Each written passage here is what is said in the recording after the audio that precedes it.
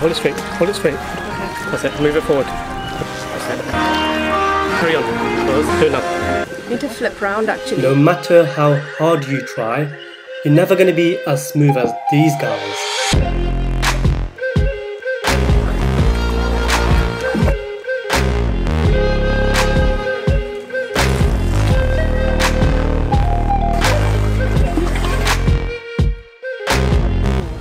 Just helping these guys out, you know, rowing the boat.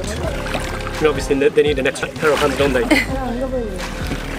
this is the, the main attraction of the trip, rowing a banana boat through the swamps and forests of the Mekong River.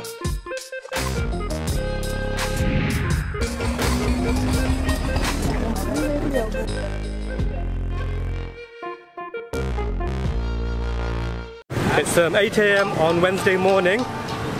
It's already 32 degrees here and we're on our way to our first day trip. Let's go onto the bus and um, our journey starts here to the Mekong Delta. This trip takes around one and a half hours from the center of Ho Chi Minh City and there are beautiful views along the way. So we jump on a boat and head towards the delta. If you didn't know, the Mekong Delta is a collection of rivers, swamps and islands surrounded by villages in the Mekong River. This is situated in the southern part of Vietnam. The main mode of transport here is by boat.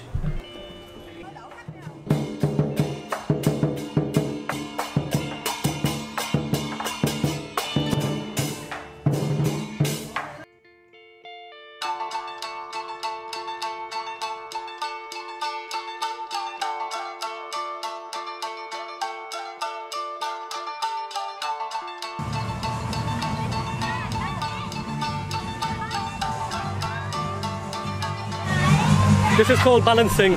This is what I've learnt in Bangladesh. I've been doing this um, throughout my childhood. And um, in Bangladesh, if you live in a village, this is how you cross ponds and rivers. They have um, bamboo bridges. Looking for a spot to fly my drone, but it's very difficult with all these tourists around. And I can't find a flat surface anywhere. There's just trees everywhere. Um, but I'm loving the views. It's really nice. What we found here is that the locals here are very friendly and nice towards tourists, and believe me, these people love taking selfies.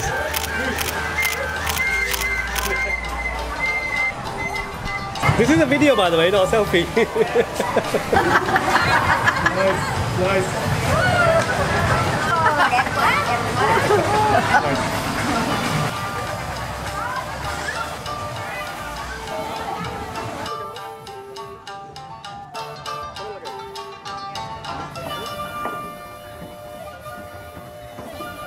We head towards another island to taste the local snacks and also to enjoy the local entertainment here.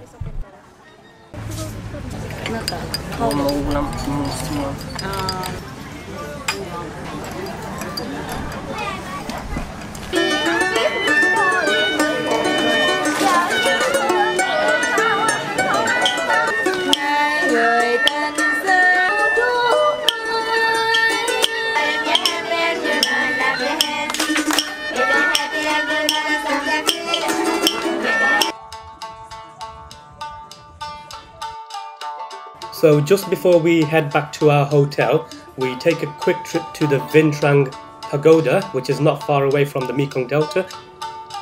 I'm a big fan of Asian architecture, in particular temples and pagodas. Over the years, I have visited many temples and I'm fascinated by all the different statues of Buddha. I find them very beautiful, especially this laughing one. So guys, this is the end of our Vietnam series of vlogs.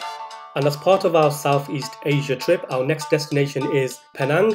So don't forget to watch our Penang series of vlogs.